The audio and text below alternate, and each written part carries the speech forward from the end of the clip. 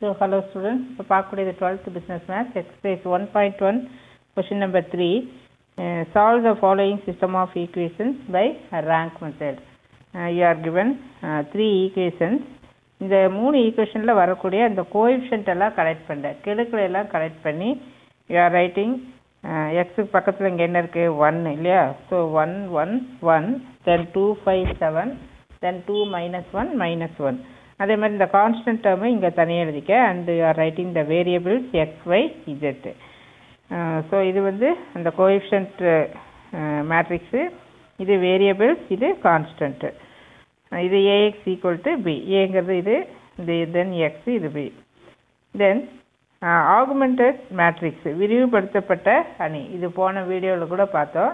அப்படின்னா என்னென்னா இந்த மேட்ரிக்ஸ் இருக்கு இல்லையா? ஏ மேட்ரிக்ஸ் எழுதிட்டு along the fourth fourth column fourth column வந்து இந்த காலம் மேட்ரிக்ஸ் இருக்கு இல்லையா? சாரி கான்ஸ்டன்ட் மேட்ரிக்ஸ் இருக்கு இல்லையா? இந்த கான்ஸ்டன்ட் எடுத்து ஃபோர்த்து காலத்தில் எழுதிக்கிறேன். ஸோ இங்கே வரக்கூடிய nine fifty two minus six வந்து இந்த ஃபோர்த்து காலத்தில் எழுதிக்கிறேன். ஸோ இதை தான் நம்ம என்ன சொல்கிற ஆகுமெண்டட் மேட்ரிக்ஸ் விரிவுபடுத்தப்பட்ட அணின்னு எழுதிக்கிறேன். இப்போ நம்ம இதில் என்ன பண்ணணும் அப்படின்னா இந்த மூணு நம்பரும் ஜீரோ ஜீரோன்னு மாறணும். ஏற்கனவே சொல்ல ஏறுபடி வடிவம். தட் இஸ் இந்த டூவும் ஜீரோ ஆகணும் இதுவும் ஜீரோ ஆகணும் இந்த மைனஸ் ஒன்றும் ஜீரோ ஆகணும். எக்கலன் ஃபார்முக்கு நமக்கு வரணும். ஸோ இந்த ஸ்டார்டிங்கில் வர்ற இந்த நம்பர் ஏ ஒன் ஒன் இதுதான் கண்டிஷன் நம்பர் ஒன்று A one one A one ஒன்னா என்ன? ஃபஸ்ட் எலிமெண்ட் இந்த ஃபஸ்ட் எலிமெண்ட் வந்து ஒன் அப்படின்னு சொல்லி வரணும். அந்த மாதிரி பார்த்துக்க. ஸோ இங்கே ஒன் கொஸ்டின்லேயே இருக்குது so no problem so first row over அடுத்து செகண்ட் ரோவில் வரக்கூடிய இந்த அதாவது என்ன கண்டிஷன் அப்படின்னா இந்த ஏ ஒன் ஒன்னுக்கு கீழே வரக்கூடிய இந்த ரெண்டு நம்பரும் ஜீரோன்னு சொல்லிட்டோம். அதே மாதிரி செகண்ட் ரோவில் இந்த செகண்ட் நம்பர் இருக்கு இல்லையா? இந்த இந்த எலிமெண்ட்டு இதுக்கும் கீழே வரக்கூடியது ஜீரோ வரணும். அதாவது இது இது இது எக்கலன் ஃபார்ம் வரணும் வரணும். எக்கலன் ஃபார்ம்னா இந்த மூணு நம்பரு இதுக்குள்ளே போட்டிருக்கிற பாரு. இந்த மூணு நம்பரு ஜீரோ ஜீரோன்னு வந்ததுன்னா எக்கலன் ஃபார்ம் அப்படின்னு அர்த்தம் அர்த்தம். இப்போ இது டூ ஜீரோ ஆகணும்னா என்ன பண்ணணும்? இந்த ஃபஸ்ட் ரோ ஃபுல்லாக கம்ப்ளீட்டாக டூவால் மல்டிப்ளை பண்ணி இதில் செப்பரேட் பண்ணினா இட் வில் பிகம் ஜீரோ நமக்கு இந்த நம்பர் தான் ஜீரோன்னு வரணும். இதை பற்றியெல்லாம் கவலை இல்லை. அப்போ இதை பாரு இப்போ two into two into two into டூன்னு போட்டேன் பாரு இங்கே ரஃப் காலத்தில் எழுதியிருக்கிற டூ டூ எயிட்டீன் எயிட்டீன் எப்படி வந்தது? நைன் இன்ட்டு டூ எயிட்டீன் அப்புறம் கீழே இருக்கிற ஆர் டூ எடுத்து அப்படியே எழுதி செப்பரேட் பண்ணியிருக்கேன் ஸோ இந்த இடத்துல zero minus three minus five இது வந்து டிரான்ஸ்ஃபர்மேஷன் இந்த டிரான்ஸ்ஃபர்மேஷன் என்னென்னா ஆர் டூங்கிறது எப்படி மாறிடுச்சு? ஆர் ஒன்னை டூவால் மல்டிப்ளை பண்ணி ஆர் டூவை செப்பரேட் பண்ணியிருக்கிறோம். ஸோ நம்ம ஃபஸ்ட்டு என்ன பண்ணால் ஆர் ஒன்னை டூவால் மல்டிப்ளை பண்ணியிருக்கோம். அதில் எது எது செப்பரேட் பண்ணியிருக்கிறோம்? ஆர் டூவை செப்பரேட் பண்ணியிருக்கிறோம். This is elementary transformation then இப்போ இது ஜீரோ ஆயிடுச்சா. அடுத்தது வந்து இது ஜீரோ ஆகணும். என்ன பண்ணணும்? இதை டூவால் மல்டிப்ளை பண்ணணும். ரொம்ப சிம்பிள் மேட்டர் இது ஜீரோ ஆகணும்னா என்ன பண்ணணுமோ என்ன கண்டிஷனோ அதை நம்ம ஃபாலோ பண்ணிட்டீங்கன்னா இந்த இடத்துல நமக்கு ஜீரோன்னு வந்துடும் ஸோ இதை கம்ப்ளீட்டாக டூவால் மல்டிப்ளை பண்ணிவிட்டேன் ஸோ இங்கே இங்கே கொண்டு வந்து செப்பரேட் பண்ணுறேன் ஸோ எலிமெண்ட்ரி டிரான்ஸ்ஃபர்மேஷன் என்ன வரும்? ஆர் த்ரீங்கிறது என்னவா மாறிடுச்சு? Two R one minus R three நம்ம என்ன பண்ணமோ இது ஒரு டிரான்ஸ்ஃபர்மேஷனாக எழுதுறது. That is known as elementary transformation so இது வந்து இந்த ரஃப் ஒர்க் வந்து இதை பார்த்துக்க. அடுத்தது வந்து இந்த நம்பர் வந்து ஜீரோன்னு வரணும் இல்லையா? இது ஜீரோன்னு வரணும்னா இங்கே பாரு இங்கே மைனஸ் த்ரீ இருக்குது இங்கே ப்ளஸ் த்ரீ இருக்கா? So this is very fortunate டைரெக்டாகவே இதை ஆட் பண்ணால் நமக்கு என்ன கிடைக்குது? ஜீரோ அப்படின்னு சொல்லி வந்துடுச்சு ஸோ இந்த இடத்துல எலிமெண்ட்ரி டிரான்ஸ்ஃபர்மேஷன் என்ன? ஆர் த்ரீங்கிறது என்னவா மாறிடுச்சு? ஆர் டூவையும் ஆர் த்ரீயும் ஆட் பண்ணினா இந்த பிளேஸ் இந்த ரவுண்ட் பண்ணியிருக்கு இல்லையா? இது இந்த இடத்துல நமக்கு என்னென்னு வந்துடும் ஜீரோ அப்படின்னு சொல்லி வந்துடும் பாருங்க எலிமினேட் டிரான்ஸ்ஃபர்மேஷன் எழுதிட்டு பாரு. ஆர் த்ரீ அப்படிங்கிறது என்னவோ மாறிடுச்சு. R two plus R three ரெண்டையும் ஆட் பண்ணுறப்ப you are getting this answer இப்போ அடுத்தது நீ இப்போ இந்த மாதிரி இப்படி போ போட்டுக்க. இப்போ வந்து இது எக்லான் ஃபார்முக்கு நமக்கு கிடச்சிருச்சு ஏறுபடி வடிவம். ஏறுபடி வடிவம் அப்படின்னு சொல்லி இதை வந்து நம்ம சொல்கிறோம் ஸோ தட் இப்போ இந்த ஃபஸ்ட் ரோ என்னன்னு பாரு. ஃபஸ்ட் ரோ ஃபுல்லாக நான் ஜீரோ நான் ஜீரோனா என்ன? கம்ப்ளீட்டாக ஜீரோ ஜீரோவாக இல்லை. அப்படி இருக்கிறப்ப நம்ம இது நான் ஜீரோ அப்படின்னு சொல்லி சொல்கிறோம் செகண்ட் ரோவும் அப்படி எப்படி இருக்குது நான் ஜீரோ மீன்ஸ் இங்கே ஜீரோ இருக்கே அப்படின்னு நினைக்காத. இது கம்ப்ளீட்டாக ஜீரோ ஆனால் இங்கே நான் எழுதிக்கிற பாரு. ஜீரோ ஜீரோ ஜீரோ ஒரு டேர்ம் வந்து நான் ஜீரோ அப்போ இதை நான் ஜீரோ ரோ அப்படின்னு சொல்லி சொல்லணும்.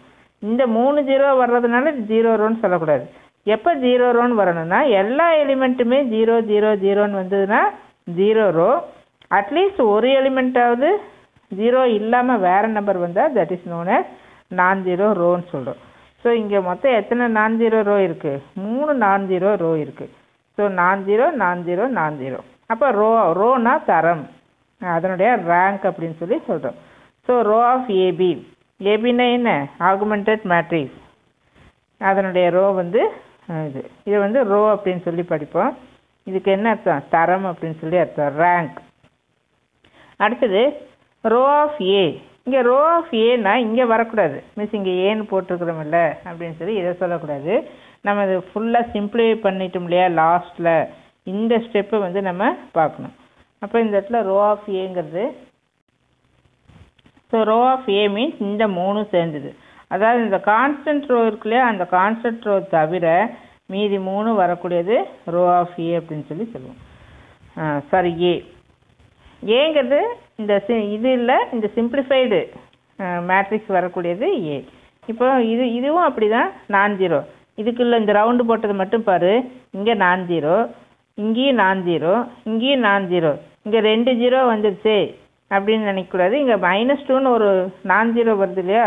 அதனால் இது வந்து இது வந்து non zero hope you understand இது கம்ப்ளீட்டாக ஜீரோ இங்கேயும் ஜீரோ இங்கேயும் ஜீரோ இங்கேயும் ஜீரோ வந்திருந்ததுன்னா இதை இதை நம்ம விட்டுருவோம். இதை விட்டுட்டு இந்த மீதி ரெண்டு மட்டும் எடுப்போம். பட் இந்த இடத்துல ஒரு எலிமெண்ட்டு நான் ஜீரோ வந்ததுனால இந்த மூணுமே நம்ம எடுத்துக்கணும்.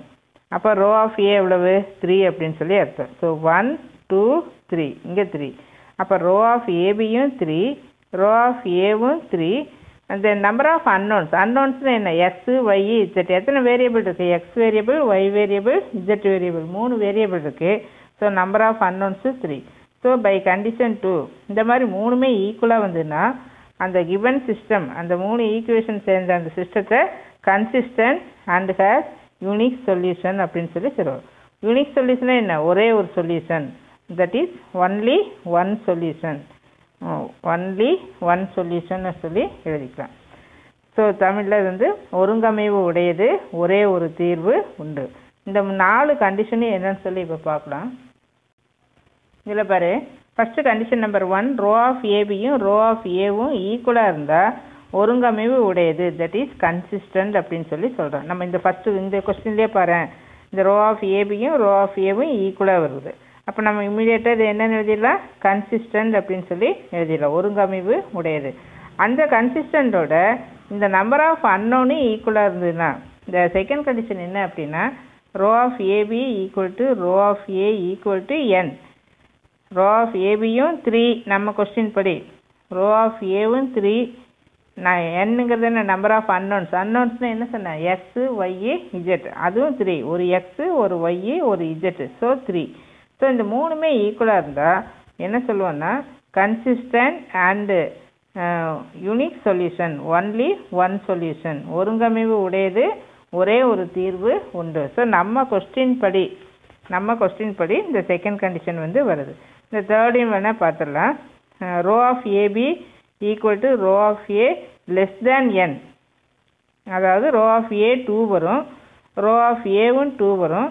ரோ ஆஃப் சாரி என் எவ்வளோ வரும்? த்ரீ என் வந்து எப்போவுமே ஆல்வேஸ் த்ரீ தான். என்ன த்ரீனா என்ன அர்த்தம்?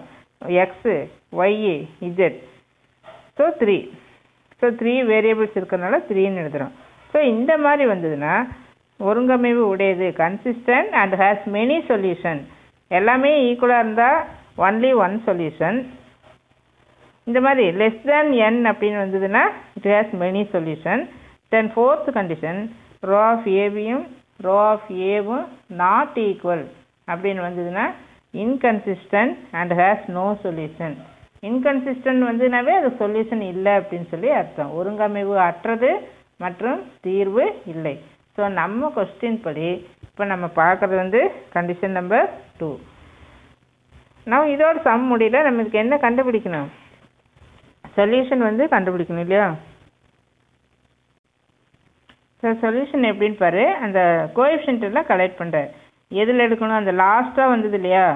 இந்த ஈக்குவேஷன் இல்லை நாட் திஸ் ஈக்குவேஷன் இந்த லாஸ்ட்டாக வந்ததில் வரக்கூடிய அந்த சொல்யூஷன் வந்து எடுத்துகிட்டு சரி அந்த மேட்ரிக்ஸ் எடுத்து எக்ஸு ஒய்இ இஜெட் ஒன்றுனா one x one y plus z equal to இங்கே வரக்கூடிய இந்த நைன் வந்து எழுதிக்கிறேன்.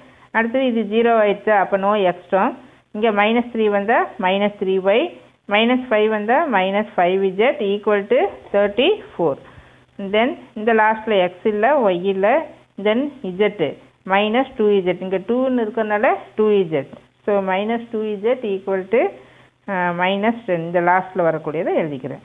அப்புறம் இதெல்லாம் நமக்கு ஏற்கனவே தெரிஞ்சது தான் சிம்பிளை பண்ணுறோம் இஜெட் ஃபைவ்னு வந்துருச்சா? அப்போ என்ன பண்ணணும் நம்ம இங்கே?